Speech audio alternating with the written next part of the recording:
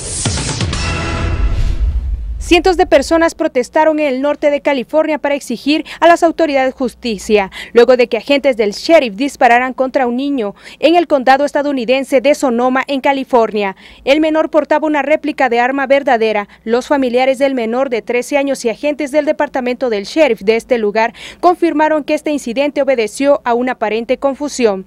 Según las primeras investigaciones, cuando Andy fue detenido por la policía y al no bajar el arma recibió siete disparos que le quitaron la vida. Después los agentes descubrieron que la presunta arma era un juguete y que no era un joven, sino un menor de edad jugando.